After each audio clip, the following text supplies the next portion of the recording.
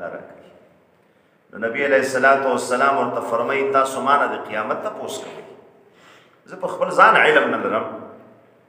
زه په خپل ځان باندې قدرت نه لرم چې ځان نه یو ضرر دفع کم او یو خیر ځان ته جلب او کینچ کم چې د خپل ځان په حق کې زه نه قدرت لرم او نه علم لرم نو د دې عالمی دنیا د آخري نیټه او د آخري اجل او د آخري تاریخ علم اعوذ بالله من الشیطان الرجیم بسم الله الرحمن الرحیم وصلى الله على النبي الكريم محمد وآله وصحبه أجمعين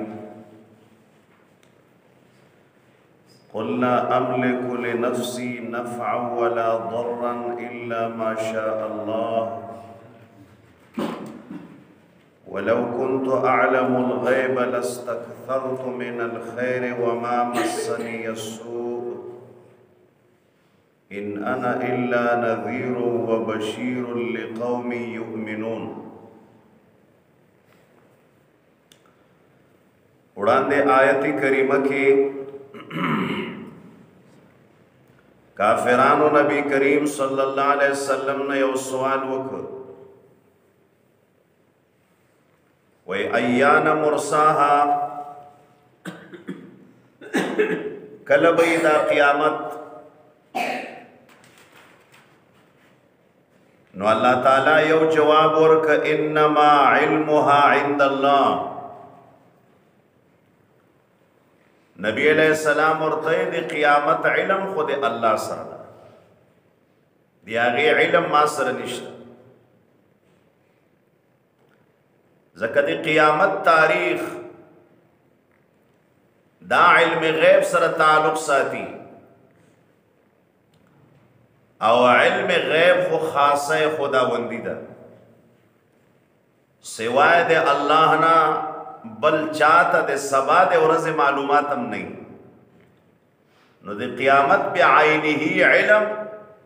دا یو الله سره دویم جواب ورکی قل لا املک لنفسي نفعا ولا ضرا نبی علیہ السلام کافرانو ته وی و تاسو خمانه د قیامت تپوس کوي قیامت خو ډیره لره خبره ده زه په دې خپل نفس باندې په دې خپل ځان باندې نه علم لرم او نه قدرت زه چې خپل ځان ته متوجه شم نو د سبا د ورځې معلومات د خپل نفس په حق کې زنه لرم چې سبا به زما خوراک څنګه او زما بسکاک څنګه زما به صحت څنګه زما سردی او ګرمي به څنګه او زما عزت او ذلت به څنګه زما مرګ او ژوند به څنګه د سبا د ورځ علم زه د خپل نفس په حق کې نه او د خپل نفس په حق کې زه قدرت د خیر او د شر نه لرم زه د دې وس نه لرم چې خپل ځان ته زه یو خیر راکینچ کم او خپل ځان ته یو خیر ورکم او نه مې دا په وس کې شته چې د خپل ځان نه یو شر دفع کم چې خدای ما ته یو ضرر لیکلی او الله یې را رسوي زه د دې قدرت نه لرم چې د ځان نه یو ضرر منې کړم الا ماشاء الله هغه خیر او شر به ما تر رسیږي چې الله یې راته خوښ کړي او زه به ماریم یو zarar او تکلیف الله را رسوله نو زه دې دې وس نه لرم چې دا بیماری دا سواخ لبزان نه وس ګرځم په ډاکټرانو باندې کله پېښور ته کله کراچۍ ته کله ټېسټونه کله دوایي د خپل ځان نه دا ضرر نشم دفع کوم او چې زه بیمار یم نو زه نشم کولای چې ځان ته زه یو صحت داسې ورکم صحت دا یو نفع دا یو خیر دا یو بهترین شی دا او دا صحت ز خپل ځان ته نشم ورکوي بیماری ز خپل ځان نه نشم دفع کوي اوس چې سبا ورځ ما ته خدای پاک زکام بیماری لګو لیکلی وي چې سبا به تا ته زکام لګي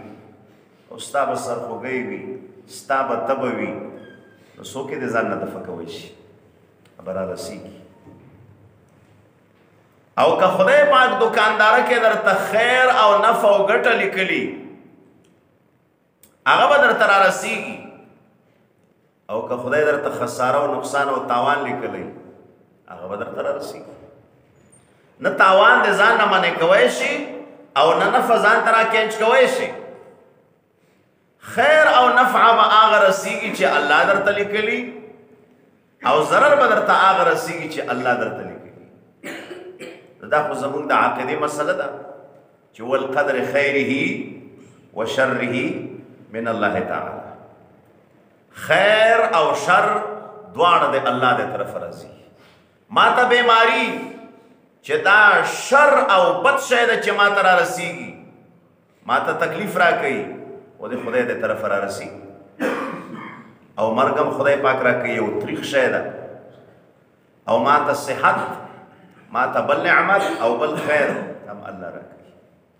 نو نبی علیه الصلاۃ والسلام ورته فرمایي تاسو ما نه د قیامت تپوس کوئ زه په خپل ځان علم نه لرم زه په خپل ځان باندې قدرت نه لرم چې ځان نه یو ضرر دفع کم او یو خیر ځان ته جلب او کینچ کم نو چې د خپل ځان په حق کې زه نه قدرت لرم او نه علم لرم نو د دې عالمی دنیا د آخري نیټې او د آخري اجل او د آخري تاریخ علم دا د ما سره نشته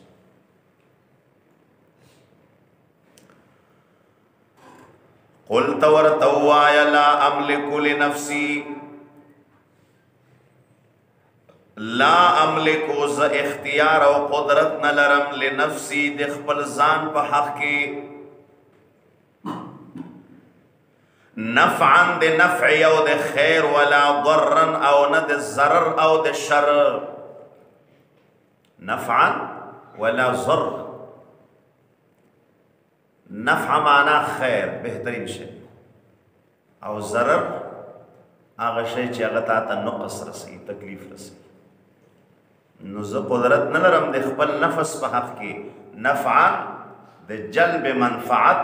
چې ځان ته یو فائدہ حاصله کوم او ځان ته کېنج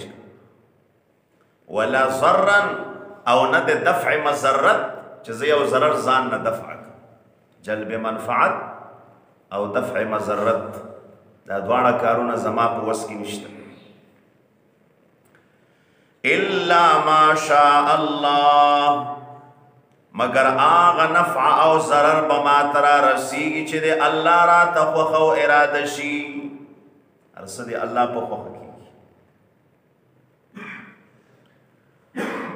ولو كنت اعلم الغيب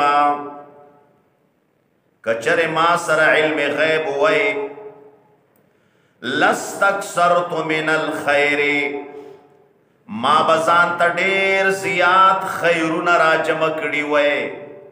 چرته چې خیر وای ما بزان ته را جمع کړی وای که علم غیب را سره وای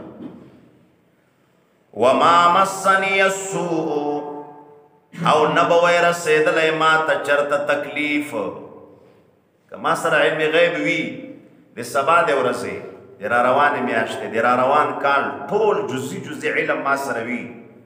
نو خو چې څومره خیر دی دا به ما ټول ځان ته راجمع کړي وای او چې څومره ضرر والا شي نه دی دا به مې د ځان لري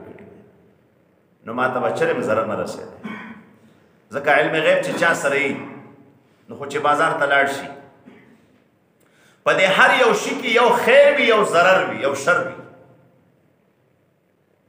انسان چې اکرم المخلوقات ده یو پکې خیر ده چې ایمان پکې وي عمل او کردار او اخلاق برابر وي د بیا د ټولو کائناتو سردار او دغه انسان کې که کفر وي، بد کرداري وي، بد اخلاقي وي، نو الله تعالی پرون درس کې تېر شو، الله فرمايي دا د ځناورو نه هم تېر دی، خر په ده باندې شرافت لري، نو ګوره انسان کې یو خیر وي او یو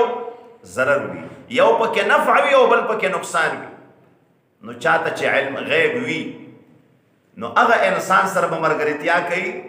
چې هغه کې خیر وي او هغه انسان به ځان ساتي چې هغه کې شر وي بازار کې به دکاندار هغه شی اخلي چې هغه کې ګټي او چې کم شي کې تاوان وي نو دا د اشیاء او ریټونه چې د یوې میاشتې د را روانې میاشتې د را روان کال ټول ریټونه چاته معلوم وي علم غیب سره څومره ګټه به کړې یره را روانه میاشت کې چینی دومره بره روانه ده او غوړي بره روان دي سونه دومره روانه ده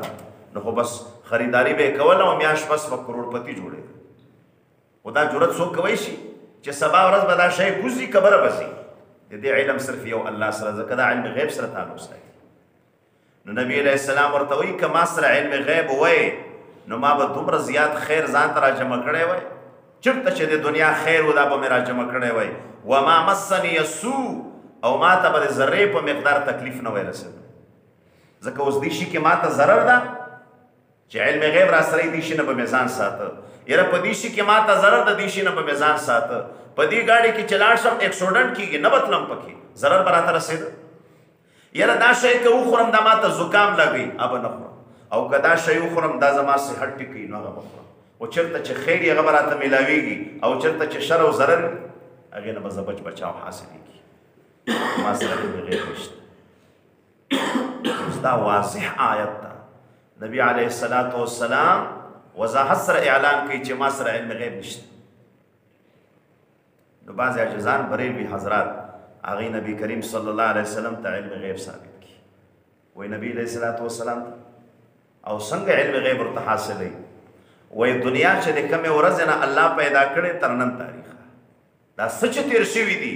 په هر جز جز باندې رسول الله مبارک ته علم ده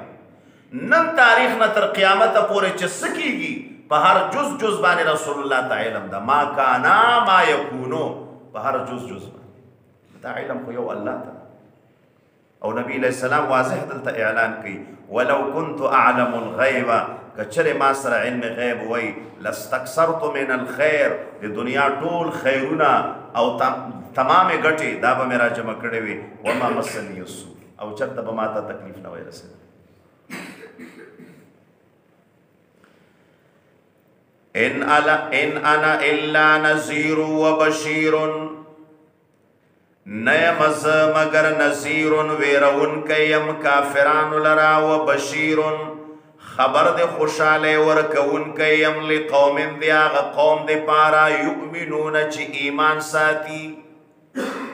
بشیر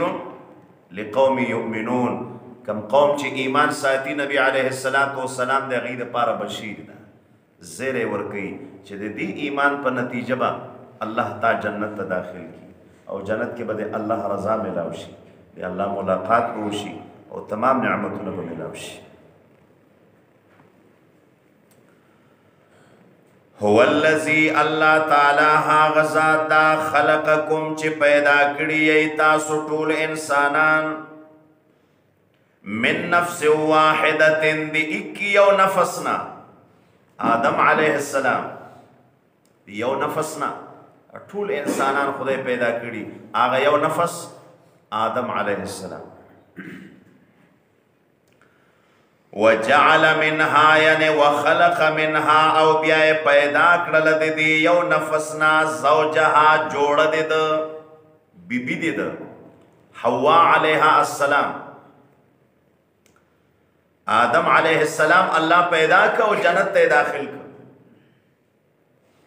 نو د غرمې قیلوله خو باندې اوده ده چې راویښ شو نو یو خزه مخه ته ناشته نو دی ورته وی من انت ته سوکې نو هغه ورته انا زوجک زه د تا بیبی هم زه د تا جوړم خدای پاک ته خواست کړي او سوال کړي چې الله ما ته یو مرګره پکار ده ځکه آدم علی السلام په جنت کې یوازې ګرځي او چې څومره ښکلی یو باغ وي او ښکلی مکان او بنګله وي او چې مرګره سړی سره نه بل انسان سړی سره نه نو د انسان هغه ځای سره انست او امخت نه ګډي نو آدم علی السلام سوال وکي الله یو مرګره په کار د جنت کې نو د غرمې په خوب ودو نبی علی السلام فرمایي د دې کین طرف دی پختینا الله تعالی یو پختی راوېستل او د غینې ورته خزه پیدا نو حوا بي بي د پختي نو نبی علیہ السلام وی پختي داسې کګه وی نو نبی علیہ السلام وی د دې کګې سره بوس گزاره کوي نو دا خزه د مزاج لږ شان ته کګي وی دا د خاون سره په یو لار نه غنسي خامخا شق کوي جنجال کوي دوچاری کوي ژبه وي نو سبق یې گزاره او نبی علیہ السلام وی کته وینا چې زینې غو نو نبی علیہ الصلوۃ والسلام فرمای ماته بشي وکسرها طلاقها نبی علیہ السلام وی د خزه ماتول دا دي چې طلاق ور کی نو طلاق د شور کو خو بیا د ځان طلاق جو کته او کلام مولا او طالب طلاق ور کنو طلاقی مولا پس خو سوک منظم نه کی وای دا طلاقی مولا طلاق خو له لانجه د سب وړه مسله خو نه ځان ته به مشکلات نور زیات کې کمیږي خو نه او بیا ورته بل سو خور او لورم نه ورکی دا وای طلاقی سره نو نبی علیہ السلام وای سبق بس گزاره پور سره او د چا چې دوه درې وینو هغه به پوره پوره تحمل او برداشت کوي دغه وړې رګرانه نو الله وی ما تاسو ټول پیدا کړی دی یو نفس نه آدم علیه السلام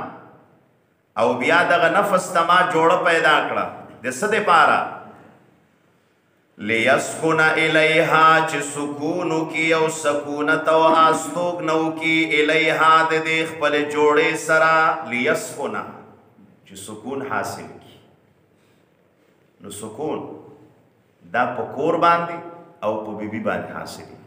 چې انسان ته خدای پاک خپل کور ورکړي او په کور کې خپله جوړه او خپله بي بي ورکړي، دې سره انسان ته سکون ملاو شي. الله فرمایي، لیسکن الیها، چې دی ورسره سکونت وکړي، استوګنه ورسره وکړي، زندګي ورسره تېره کړي.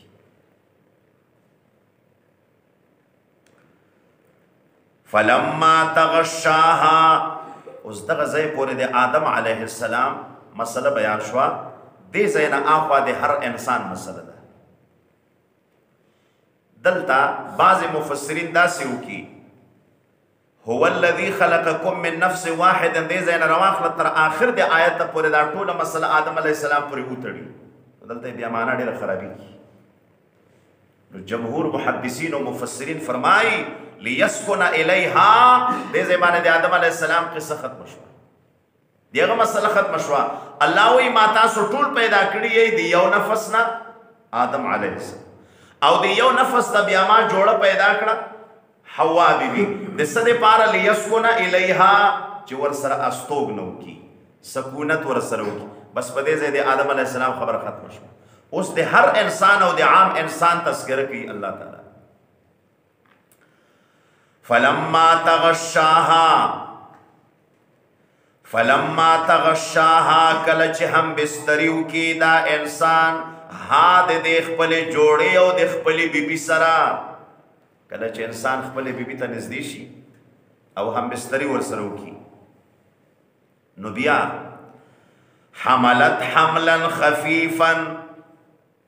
حملت نو حمل شروع شي دی خزتا حملا خفيفا په حمل سپک سره د لومبۍ یوې میاشتې دوه میاشتو پورې زنانه ته پته نه لګي چې کله حمل شروع شوی ځکه هلته ماشوم کې وزن نه پیدا هغه صرف نطفه وي یا صرف وینه وي یا داسې یو مړی غوښه وي زنانه ته پته نه لګي د دوه درې میاشتو نه پس پته ولګي نو حمل خفیف ورته شروع شي فمرت به بیا ګرځي را ګرځي دا خزا به د دې بچی سره نو په خېټه باندې دا حملی دی اجازه ته پته نه نو ګرځي د کور کاروبار ورسره کوي څه پته نه ورته لګي فلما پس هر کلا اسقلت کله چې دا حمل درون شي له څلورو میاشتو نه چې ماشوم واړو نه غلطه حرکت شروع کی ژوندی شي او بیا ورورو دا ماشوم غټیږي کې وزن پیدا شي او ماشوم چې کله د پیدایش ته نږدې شي و اتو میاشتو ته ورسیږي نو بس هغه د خزې د پاره بیا مستقله بیماری شي کله ورته تبي شروع شي کله ورته بل تکلیف شي کله بل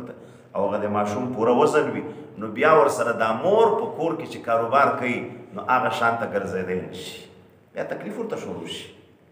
حمل یو مستقله بیماری ده دیو جن رسول الله صلی الله علیه وسلم نه یو صحابي تپوس کوي یا رسول الله زړه مې غواړي چې یو انسان سره نیکی وکم خېګړه وکم نو چا سره وکم بهترین مصرف سوک نبی علیہ السلام ورته مور سره وکم وای جی بیا یې چا سره وکم وای بیا یې مور سره وکم جی بیا یې چا سره وکم بیا یې مور سره وکم جی سلورم نمبر چا سره وکم وای ابو کپلار سره دی نو درې سره ورته مور یاد کړ نو دغه ته محدثین وای وای بس دې حدیث نه د مور او د پلار حقوق مونږ ته واضح شو چې مور دا درې حق لري او پلار یو حق لري نو یو محدث لیکي که مور او پلار دواړه درنه پیسې غواړي چې بچی له خرچه راکړه خرچه پکار او تا سره جیب کې صرف سلور روپۍ دي نو دا درې روپۍ به مور ته ورکړي یوه روپۍ به پلار ته ورکړي ځکه دې حدیث نه معلومه شوه نبی علیه السلام درې وارې د مور دپاره ویلي او که یو سړی حج ته ځي وایي چې د مور او پلار کې یو را سره بوی شم خو دواړه نشم بوته یو داخله ځان ته کو او یو را سره نو مور به بیایي که پلار به بیایي نو محدثین وایي دا مور دې ځان سره بوسي د دې حق لغونه زیات ده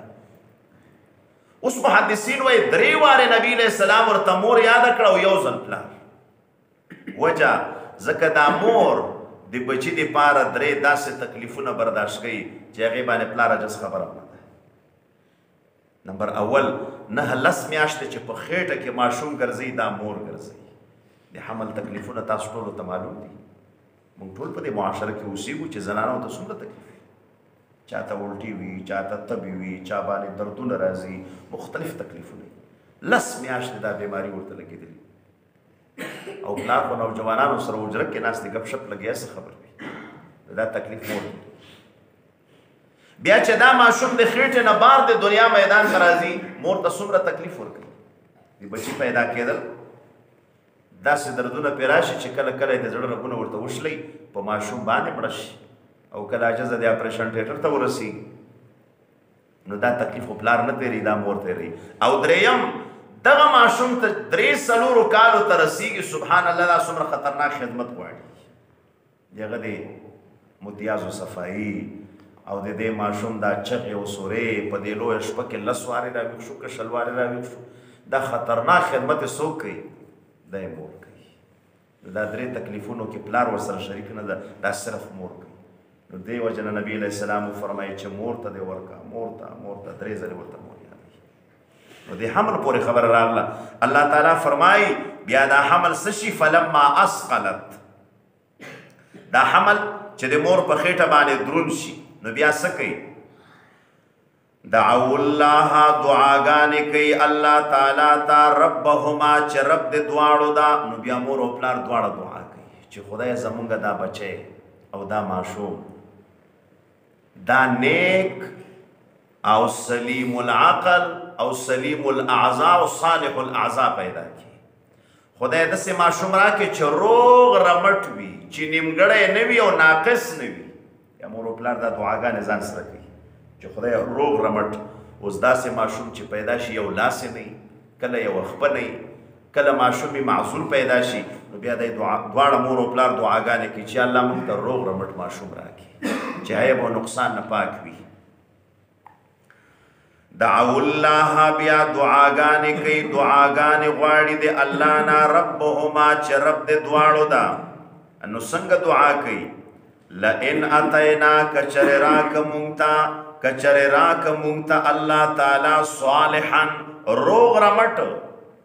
صالح معنا نیک عمل نه د ماشوم نیک عمل څه معلومي صالح معنا سالم الاعضاء چې اندامونه پوره وي روغ رمټ وي یا الله کوم ته د روغ رمټ بچی راک نو لنکونن من الشاکرین مونږ به د شکر گزارانو نشو یا الله مونږ به د تا ډیر شکر ادا کړو کته مونږ ته روغ ماشوم راک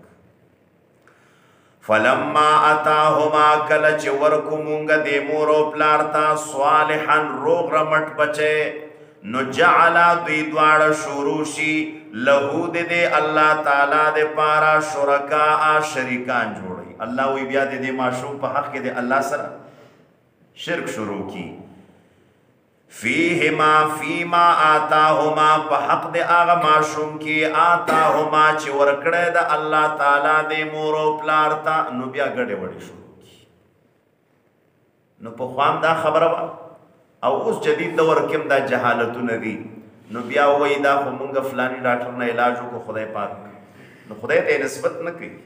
به ډاکټر ته نسبت کوي او زنانو کې لا دا جهالت ډیر وي نغه په زیارتونو باندې ګرځي یو ځای موږ ځنګل باندې تیرې په دې قبرستان باندې تیرې دو نو د قبرستان سره د مزر ولا ونه و داسې هغه هټ اوچت نو دا کم مزري چې څومره لاندې را زوړند دي دا هر پانه ته سو سو غنډه ور کړې حیران شوم دا څه مسله ده وای دا دغلته یو زوړ قبر ده نو دا د قوم والا خزه ورته راځي بس د کمې خزه چې اولاد نه وي دې مزري ته په یو لاس باندې ګنډه ورکي دا بل لاس نه ورسره شریک په یو لاس ګنډه ورکي نو بس دا خوشحالي چې اوس به ان شاء الله کار کیږي بیا خدای پاک بچي ورکي نو بیا نسبت هغه بزرگ ته کوي نسبت هغه قبر ته کوي نو الله تعالی وایي ګوره دا بیبي ما ورکړه دې سړی ته بیا دا حمل دا ما ورته شروع دا حمل چې خېټه کې غټ شو فول شو مکمل شو دا الله وک او دا روغ رمټ ژوندې خپلې ماشوم ما ورک او به نسبتونه هغه باباګانو ته کوي کله قبر ته کوي کله ډاکټر ته کوي کله الله تعالی وي ګوره بیا دې ما ناشکری شروع کی بیا په بل مصیبت باندې لګیا شي یو حاجی صاحب وای په دې دیر کې یو زیارت دیر کې څه بابا ورته وای نو خلق ورځي او تاسو رشي نو یو پکې د ناوي ډولې را زړند او یو پکې د ماشوم زنګوې را زړند په دې چت کې نو د چا چې واده نه وي خزه واده نه شوی یا د د ځوان واده نه شوی نو هغه زیارت ته ورشي هغه ډولۍ ته یو ټال ورکي یو دیکه ورکي باس وای دې سړي ته به اوس واده ملاویږي او کله چا واده وي او بچي نه وي نو بیا هغه ځانګوی ته ټال ورکي نو هغه یو سپینګیر حاجي صاحب وای دا د قبر کم صاحب چې دا وای د مونږ د ثوابۍ ده وای زه ښه پېژنم د موږ د ثوابه یو ډېر بزرګوار سړی و خو مجذوب غونې سړی و نه چا سره خبرې کولې نه چا سره کېناسته و بس د خدای ذکر به یې کاوه نه وای واده و نه بچي و نو ښه چې دې بابا خپل ځان ته واده نه ده کړی او د خپل بچی په خپل نه دی لیدلی نو بل چاته بس واده ورکی اوس بچی به ورکی او دا اوس جهالت ته شروع ده اوس هغه خپله واده هم نه ده کړی او بچي هم نشته، خو د هغه په زیارت کې یوه ډولۍ ده او یوه زانګویه ده، وایي دا خلکو ته بچي هم ورکوي او واده هم ورکوي. اوس ټیک ده ډېر خلک خو په دې نیت به نه ورځي چې د زیارت نه یې وغواړي، خو په دې ښځو کې دا جهالتونه هغه بیا په دې نه پوهېږي، بیا په دې نه پوهېږي. د حاجي بادر صاحب کې د کوارټ کې موږ په سترګو لیدلې ماشوم ورته راوړي نو د قبر باندې دا سر داسې ورته کېږي نه پوهېږم چې د دې به څه عقیده وي د ماشوم سر د قبر سره ورته وجنګوي نو بیا د دوی دا عقیده وي چې دا ماشوم د قبر سره چټک شو نو د ته بیا بیماری او داسې وارد نو خدای پاک په دا ماشوم بیا موږ ته ساتي نو که خدای ته یې نسبت وکړي خو بیا هم ښه خبره ده او که وایي چې نه د قبر په برکت دغه ځای کې بیا لانجه جوړه شوه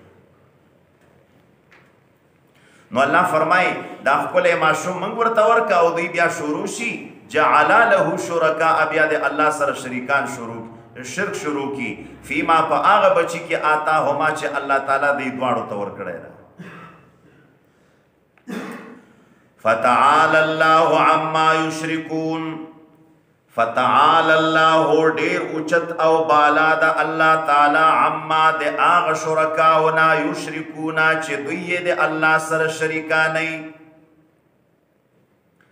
دغه ځای کې بعضې مفسرینو یو روایت نقل کړی او ترمیزی شریف کې هم دا روایت راغلی دی وای د آدم علی السلام به بچی پیدا کېدل خو بیا به مړ کېدل ژوندي به نه پاتې کېدل یا به پیدا شول اندامونه به بعضې نه و نیمګړی به پیدا شو ډېر بچي داسې پیدا شو نو آخر حوا بی بی چې حامله و نو شیطان ورته راغی شیطان ورته وویل، زه درته یوه نسخه او طریقه ښیم، په دې عمل وکړئ، دا ماشوم به ژوندی هم پاتې شي او نیمګړی به هم نه پیدا کېږي، روغ رمټ به پیدا کېږي. وایي طریقه دا ده، دا ماشوم چې کله پیدا شي، نامه ورته کېږدئ عبدالحارث. حارث د شیطان نوم ده.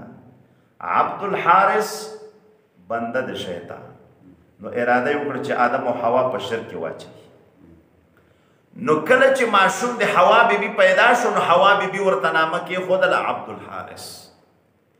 قدرت شانو چې په دغه کال او په دغه نمبر باندې دا بچی ژوندی پیدا شو، پاتې شو او ماشاءالله غټ شو. اوس دا روایت خو بیا دا غټ مفسرین او کبار مفسرین علما په دې حدیث او په دې روایت باندې داسې بمبار کوي چې دا حدیث د سره اصل نه لري. دا هسې غلط نقل شوی ده سبحان الله آدم علیه السلام وګوره چې یو ځل خو یې د شیطان په وسوسه د جنت نه راوغورځېد دوباره بیا څنګه دوکه کېږي او بیا سبحان الله پیغمبر ته د شرک نسبت کول پیغمبر به په خپل بچی باندې دا سنامه کیږي چې هغه کې د شرک شبهه وي عبد الحارث د شیطان بنده خو دا یو روایت ته نقل شوی ده نو بیا عام محدثین او مفسرین په دې باندې سخت اعتراضات کړي چې د دې حدیث نه سند شته نه ثبوت شته دا اسې چا د ځان نه ویلي نو ځکه مونږ ویل چې هغه فلم ما تغشان د عام انسان مسله بوایو د آدم علی السلام سره به نه تړو که د آدم علیه السلام سره یې وتړو نو بیا خو یې معنا داسې کېږي چې آدم علیه السلام ته مې بي بي ورکړه او په جنت کې ورسره اوسېده، فلما تغشاها چې کله یې ورسره همبستري وکړه حمل شروع شو، حمل غټ شو، کله مو چې ورته ورکړ نو بیا جعل له شرکاء دوی شرک پکې شو، نو آدم علیه السلام شرک کوي، نو ګوره دا آیت بیا نه لګېږي، نو فلما تغشا نه د عام انسان تذکره ده او عام انسان خو د شرک او د ګناه ارتکاب کوي.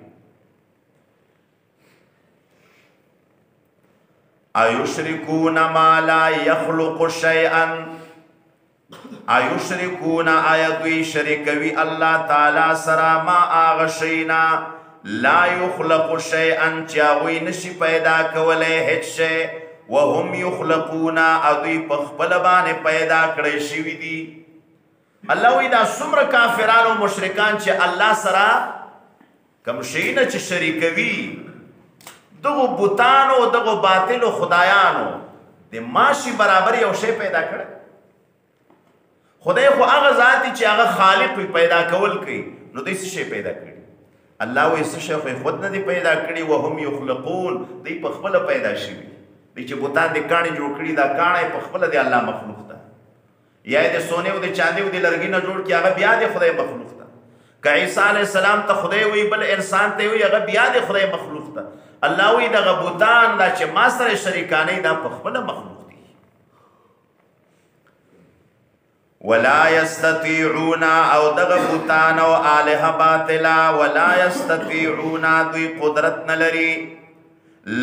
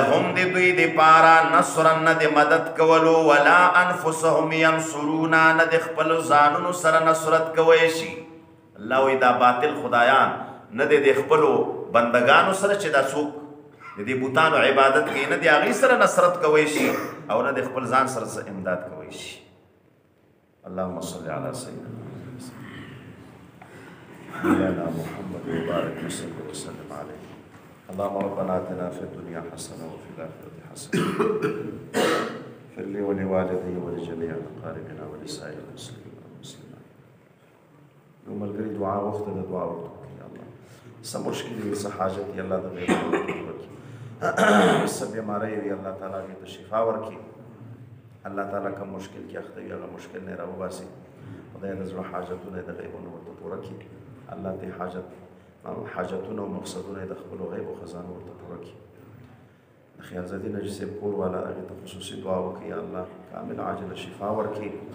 الله د دې قرآن د درس په برکت باندې زر تر زر شفا ورکړي عظیمه خدایه ته خو مړي را ژوندې کوې الله تعالی من حیث لا یحتسب شفا ورکړي بغیر د علاج معالج یې ورته شفا ورکړي د ټول مریضان د اسلام روح جوړ کړي ټولو اصحاو ته د طاعت او د بندګۍ توفیق ورکړي صلی الله